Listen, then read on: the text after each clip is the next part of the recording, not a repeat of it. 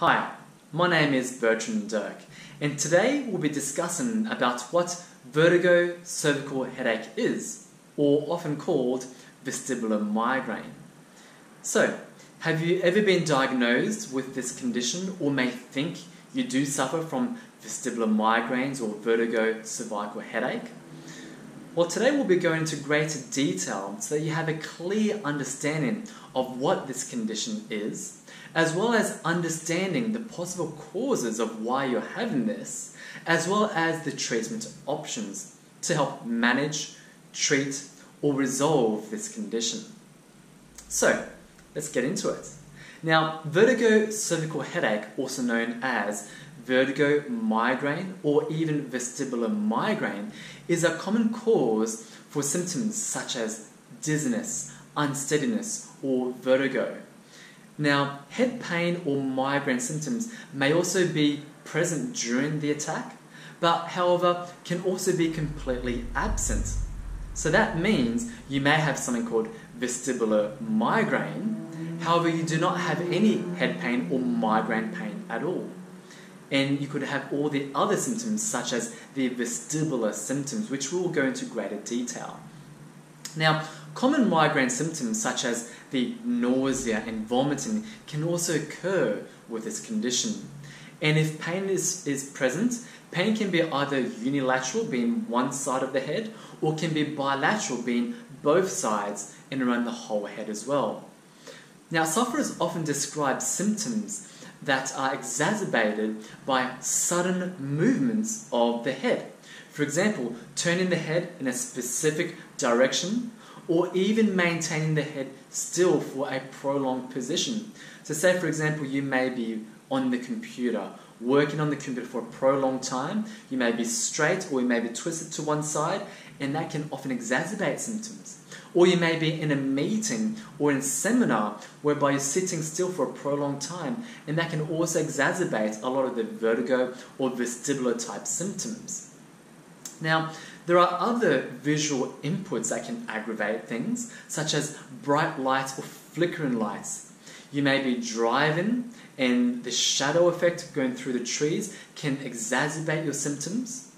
Or even um, disturbances such as looking down the aisle of a grocery shopping lane. So you may be going shopping, you may be going down an aisle, and that depth perception can actually trigger um, an attack to come on. So um, there are a lot of things that can actually trigger attacks, but a lot of visual disturbances, looking at things, can actually exacerbate a lot of um, symptoms and attacks. And it is common for symptoms to be worse when there is also some stiffness in and around the neck as well. So, let's go over the main symptoms that people with vertigo, cervical migraines have, or vestibular migraine sufferers have as well. Now, vestibular symptoms um, can be classified as three things. The first one can be called vertigo. So, what is vertigo? People often misuse the word vertigo and they say that they have vertigo, but they don't. Or don't think they have vertigo, but they do have vertigo. So, what is vertigo? Now, vertigo is basically the sensation when you feel the environment around you is actually spinning. So you might be completely still, but you're visually looking around the place, and the actual room around you is physically spinning round and round. This can also cause involuntary eye movements and can also experience the contraction of the muscles around the eye to contract and move from side to side. So, vertigo is an external sensation whereby the environment is spinning around you. Whereas dizziness Dizziness is different to vertigo, and dizziness is described as lightheadedness or heavy-headedness, an unsteady feeling or fogginess or wooziness, and it is usually an internal sensation. So remember, dizziness is not the environment spinning around you, but it's the internal wooziness, unsteadiness, or lightheadedness of the head. The third one is imbalance. So vestibular symptoms, vertigo, headache, um, can experience imbalance. And imbalance is where the sensation of feeling unsteady on your feet. So, for example, you may be walking or you may be sitting, you may be always drifting off to one side, um, and you may have to overcorrect your balance to avoid yourself from swaying from side to side. And the other fourth symptom that you can have is a headache or migraine. Now, pain from a headache or migraine can be felt in the head during an attack. However, it can also be completely absent, whereby you don't have any headache or migraine type pain, but you have all the other vestibular type symptoms.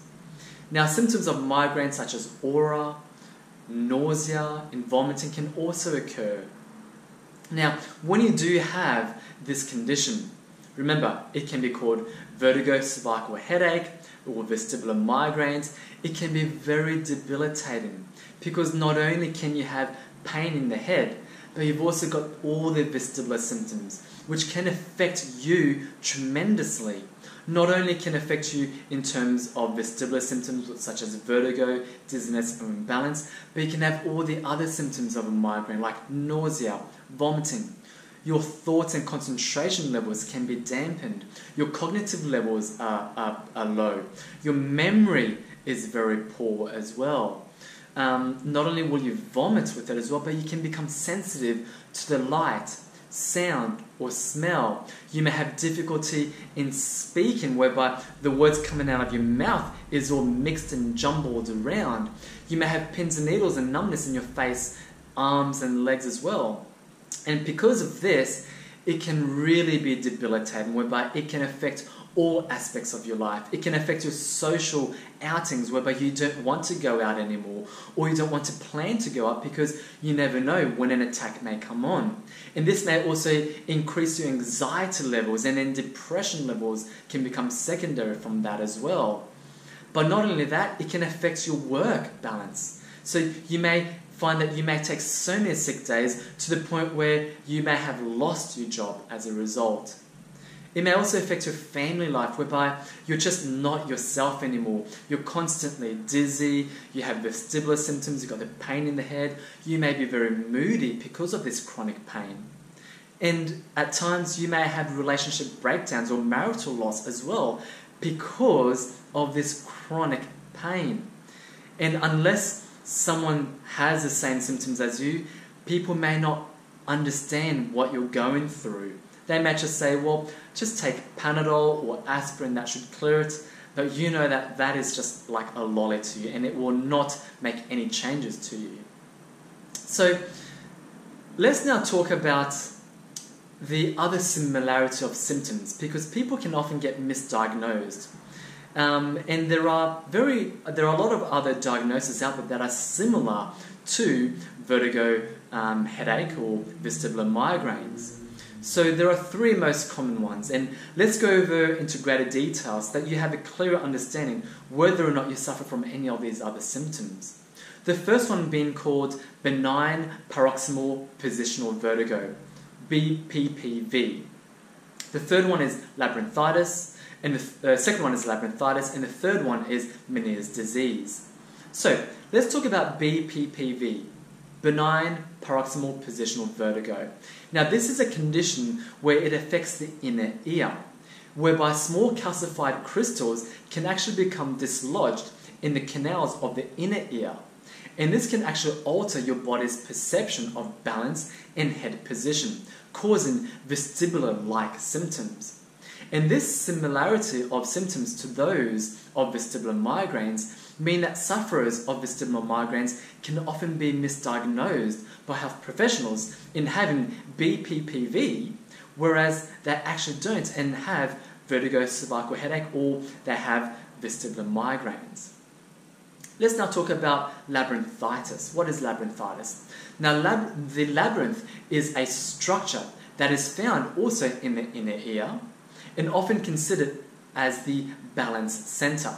Now, inflammation to the labyrinth, often from infection, can cause sufferers to experience difficulty with their balance. Most commonly, labyrinthitis is caused by a viral infection like a cold or a flu, or from herpes, which is another viral group, or chickenpox, shingles, or cold sores. Ear infection can also um, lead to inflammation of the labyrinth. And the diagnosis involves tests such as hearing tests, balance tests, head position tests, blood pressure tests, scans, or other medical investigations. Now, the third one is Meniere's disease. So, what is Meniere's disease? Meniere's disease have symptoms like dizziness and vertigo, but also ringing in the ears, hearing loss, and even congestion in the ears can all be caused by Meniere's disease. And this is where there is a buildup of actual fluid in the labyrinth, which is in the inner ear. And this fluid buildup alters the normal signals that this balance center sends to the brain, causing abnormal symptoms. In Meniere's disease typically affects people at the ages of between 40 to 60 years of age, however, can be experienced across all ages of group. So, hopefully this gives you a bit more information about the different types of symptoms. Um, and now let's go into what the cause of vertigo cervical headache is or what the cause is of vestibular migraines. Now, modern research suggests that the convergence of nerves from the vestibular system into the brainstem located in the upper neck is the root cause of vestibular symptoms. Now, injuries to the neck, like whiplash injuries or, or from a head injury, or dysfunction in the neck from a poor posture, can actually cause the brainstem to become sensitized. Now, the role of the brainstem is to filter information from the body, including the vestibular symptoms, as it passes into the brain. Now, normally, information from the vestibular symptoms travel to the brainstem through the vestibular cochlear nerve.